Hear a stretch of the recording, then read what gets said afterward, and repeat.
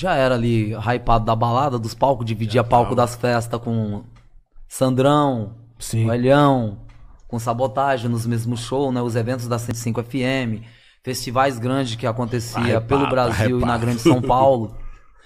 E nessa a- foi ganhando corpo o conhecimento. A- Eu digo a, a intimidade de ser, de dividir um backstage, de chegar, trocar uma ideia com os manos, bater uma foto. Ô, mano, ô, a gente gosta de tal. Porra, porra, a gente também gosta disso. Caralho, aquele bagulho que você fez com o de rock, com o Thaís, mano. Aí, pum, chega um dia na balada, o Sandrão. Ei, tio, fazer um som lá com o bot, lá, esse novo álbum do bot. Igualzinho a voz. Eu só lembro da época do. Hoje em dia ele é tecnológico. Aqui, embaixo, né? caderninho, a caneta aqui, um cigarrão e já bolando outra parada aqui, então, tio. Fumar um negócio aí, dar uma ideia pra você aí, fumar um som com bot ali e tal. Fazer um som com o mano, e pá. Eu falei, ô Sandrão. Na época eu ainda era caretão das ideias. Caretão assim, já usava droga, mas a droga era o álcool, a cerveja. Você não fumava ainda. Não. Aí eu falo, não, eu nem sou dessas fitas aí, mas, porra, fazer um som com bot, aquele mano que tá divulgando lá nas bagulho da MTV, que tá tocando as paradas aí na 105, que vocês levam pro show, com o Rude, com os caras. É, mano, é esse mano ali.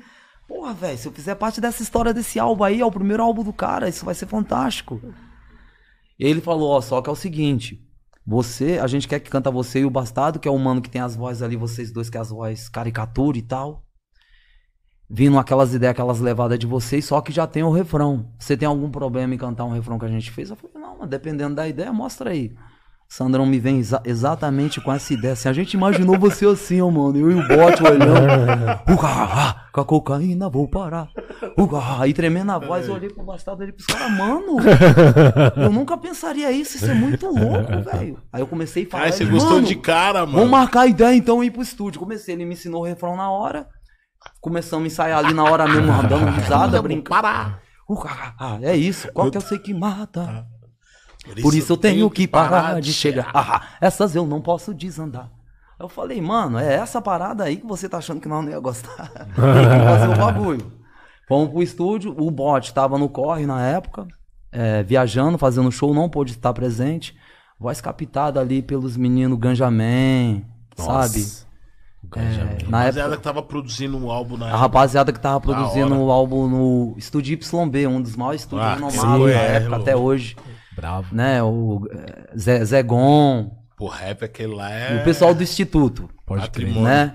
Essa, essa galera aí. Eu cheguei lá, vi tudo, já vi essa galera, já fiquei mó feliz. Porra, os caras do Instituto, a primeira mão que eu tava conhecendo os caras pessoalmente. Cara, Instituto, a banca toda. Isso, e aí tava o, o, o Sandrão, a galera da área do Sandrão, mas não tava o Elhão e não tava o bote que os caras tava viajando. Ó, mano, os caras não tão, mas pode pôr a voz que a gente manda pros caras ouvir. Se precisar, você volta aqui, faz de novo. Aí, pum, gravamos, os caras, na hora que acabou a gravação, os caras falaram, mano, não vai nem precisar mandar pros caras. Falei, porra, da hora. Foi ali que nasceu uma amizade, né? Um- Ah, os grupos na, na época também tinha essa coisa faltava uma empatia, querendo ou não, de um de alguns estilos de, de grupo para com o outro.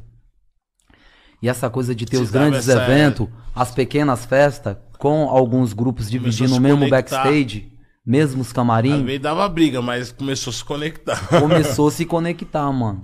Entendeu? Era tudo resolvido ali na hora, não tinha essa Isso, coisa.